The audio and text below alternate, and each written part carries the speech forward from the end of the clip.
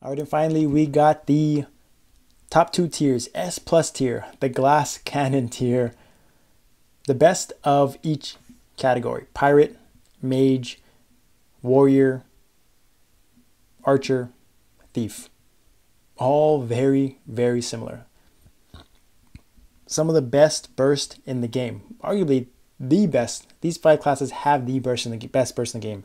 Cannoneers have the most lines in the game. Two minute, three minute, whatever it is, their lines are significantly higher. Now it's all there's small lines in there, but their burst is still very, very good. And I heard that they have a good iframe too. I think it's on 20 or 30 seconds. So they have some sort of self-sustainability. And when I talked to Lama from the Cannoneer from Enosis, he made a good point. And he said Cannoneers, what makes them very good is they have a lot of place down skills. And I think in the current meta, that is actually very valuable because when Damien is flying up, or Lucid is going through minigame, or going through charge where they're invulnerable, Cannoneers actually have an advantage to set up their skills, right? Set up their burst, not wasting time casting it, so that by the time when it, the boss drops, it's actually getting ahead of the curve, maximizing its lines and DPS, which is actually makes sense. Pretty good. So like even at the start of a fight, phase one, they can get everything set up, ready to go, pre-cast it, place it down, and immediately it's going to do damage. Makes sense. It's pretty good, pretty valuable, right? And so when they have the best burst in the game, um, I, I, I just had to put them here, right? It just made sense. This tier is made for all these classes. Now, again, one iframe, when she hits the fan, may not be looking so great, right? Glass cannons, but DPS wise, it may just like it may not matter. Just they're going to be that insane. Ice Lightning Mage are the same thing, right? Mages, Ethereal Form. That's all they got. Their only iframe is a stun. I don't know if they can use that. Not really the greatest thing to use, but 50k covert. Ice Lightning Mage. The best score in the game right now. Truffle Lock X. Not even full 60s. Pretty insane. Short cooldowns that pair with DS4 is the meta. Every 30 seconds, everything comes back up. Every 15 seconds, no, every 30 seconds, their big burst comes up. Huge. Absolutely huge. Allows them when, like I said, when when classes like paladins have 60 second long durations of like burst, 60 second on, 60 seconds off, that's hard to consistently do all the time. Maximize that 60 second window. 30 seconds. Use it, six second increments of burst, not have to use it, then another 30 seconds. That's easier to micromanage, right? That's easier to consistently do, put out DPS, right? Essentially, when it's up off cooldown, use it. It's going to pair Defense Smash 4 nine times out of 10. Easy. You don't really have to think about it. That's what Ice Lightning Mages are, and they are the best in the game. The crazy part is their line count is bottom 10, I'm pretty sure. So line count, not that valuable. How you do your damage. Short cooldowns, pair with Defense Smash 4. That's how Ice Lightning Mages are just number one in Covert, very good in Mu Lung. Team content, did 300 bill plus in Lucid. Number one, Mage, DPS wise, Glass Cannon tier.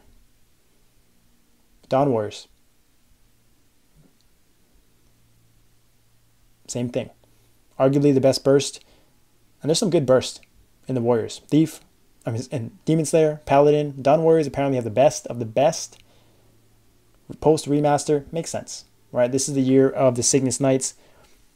And so Dawn Warriors, again, don't have they just have impenetrable skin. I think they have another iframe that's on their one of their dashes like a 30 second iframe. So it's pretty good, right? Two, plenty. They don't got self heals though. They don't got the leech that DKs, Demon Slayers, and Paladins do, like Demon Avengers do, like Arans do. But if you pair a Dawn Warrior with Synchro, this is kind of maybe I should have named this the Synchro tier, right? If you give these classes Synchro, they're going to absolutely obliterate everything. But Dawn Warriors are very good top of the warrior classes, and I think warriors are very strong. So having them at the top, best burst, yeah, not much to say. And they look badass. And their skills are sick. Mercedes, still the king of archers as far as I know. Very similar to Cannoneers. A lot of burst, a lot of small lines. They are capped. Their clone lines are capped, right? That's the downside. All those lines aren't going to be, aren't as impactful. Cannoneers, Mercedes, Paladins, Nightwalkers all have small clone lines that are capped. But Mercedes and Cannoneers just have a tier above more lines, more damage. The burst may be just slightly better than Paladins and Nightwalkers, which is why I have them in this tier. Not much survivability. Wind Archers are better. Bowmasters probably are better with their lifesteal, but their damage, this is their tier above as far as burst. And Wild Hunters and Pathfinders have good burst, but Mercedes are just very, very good tier, good here until I see otherwise. And then Night Lords, the King of Thieves. Well, not the King of Thieves, but again, you run with a Night Lord. There's plenty of them out there. They are back, topping the charts. Absolutely insane burst damage. And this is what I was talking about, mentioned before about Sia. How Sia's burst is like over 23 seconds. Night Lords, they condensed it. Their Shuriken is doing more lines in less time, right? Shorter cooldowns. Their V4 paired with their Barrage and their V1 and all their V skills, chunking, huge damage. It's insane to see. Night Lords are back. The only, again, if you give them Synchro, they are going to output maximum damage. But other than Dark Sight, they got nothing. I love their mini dashes. I love their up jumps. But when shit hits the fan, they need a lot of help to survive. And I, you know, they're glass cannons, right? But hey, and I think my, my biggest complaint about Night Lord is that Barrage has to be in melee, melee range. They need to change that. Why is Barrage their best skill? A melee range. They should be throwing Star from the farthest away. But if you're not right on top of the boss, you're missing lines, you're missing damage, and that's just a pain. It's very high risk, high reward for Night Lords. And uh, yeah, that's why they're in this tier. And if you guys made it all the way to the end of the video, I appreciate it. Thank you so much. Don't forget to like and subscribe and join the Discord community. The Echo Clan community is growing, the best community in the game right now. And if you want to take your gameplay to the next level, improve your gameplay, do more damage, do more DPS, you definitely want to subscribe. The first seven days are free and you're going to get full access to everything in the channel. So you definitely want to check that out. Thank you guys so much. I'll see you guys next time.